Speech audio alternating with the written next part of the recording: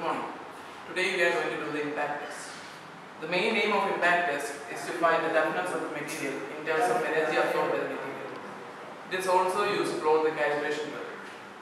Impact test is of two types, Izod impact test and Charpy impact test. In Izod impact test, the specimen uses of eh, a length 7.5 centimeter and a V notch placed at 1 by 3rd of its length. It is held at cantilever position and the notch will be facing the pendulum. In Charpy impact test, the specimen used is of 5.5 cm length and a central notch is used. The notch will be facing away from the pendulum and it is kept at a simply supported position.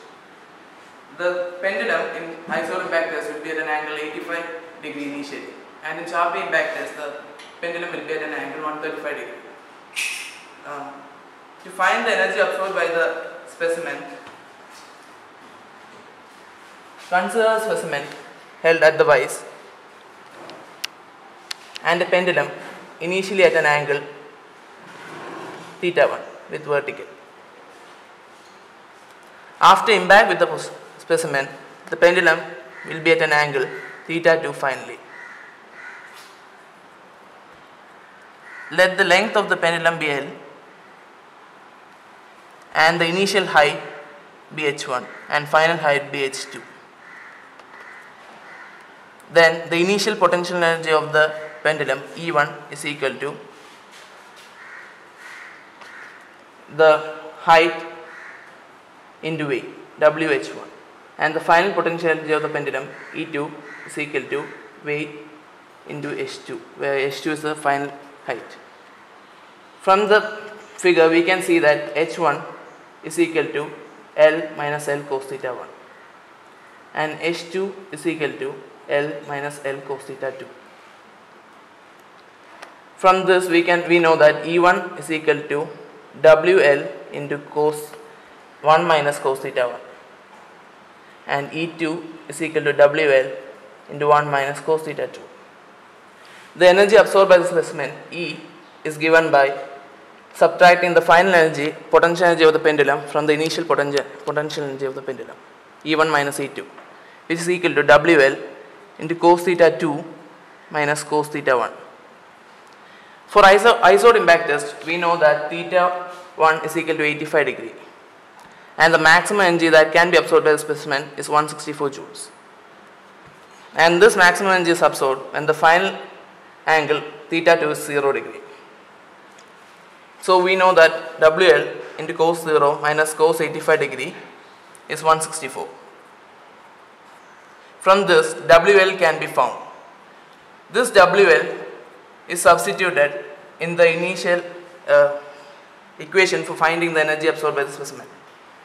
And from, the, from that equation the various energy absorbed for different angles theta 2 can be found. These angles can be calculated and calibration curve can be drawn. We know that when theta 2 is 0, the maximum energy is absorbed that is 164 joules. And when theta 2 is equal to 85 degree, the minimum energy 0 joules is absorbed by the specimen.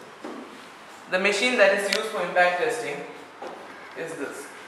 And the specimen that in which the pendulum will strike will be held at the vise.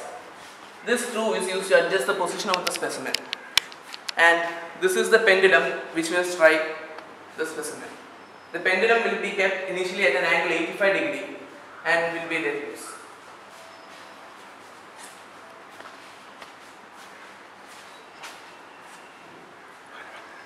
This is the dial in which the final angle uh, will be seen, can be seen.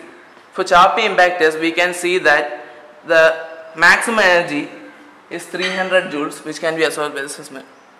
And in Izod impact test, 164 joules is the maximum energy that can be absorbed. When after the pendulum strikes the specimen, the angle final angle of the pendulum will be shown in this dial, where the angle will be ca- calculated from here.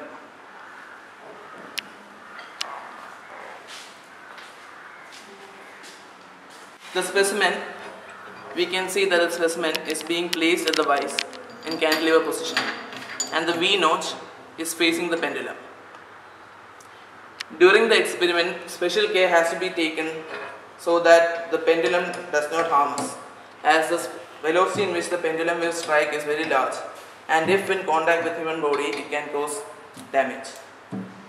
The pendulum is initially kept at a safe position in a platform and during the experiment the pendulum will be for Izod impactors the pendulum will be kept at a position of 85 degree. You can see the pendulum being kept at an angle of 85 degree.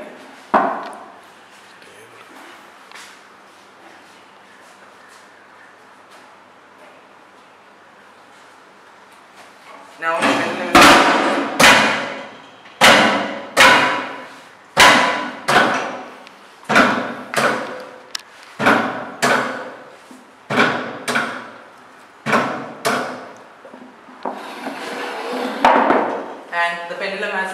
the specimen.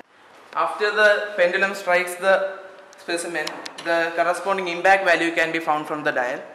Uh, here we can see that the impact value is 25 joules, 25 and the value is taken from 0 and in this way we can also conduct the Charpy test but the pendulum has been kept at an angle 135 degree and the specimen use is different.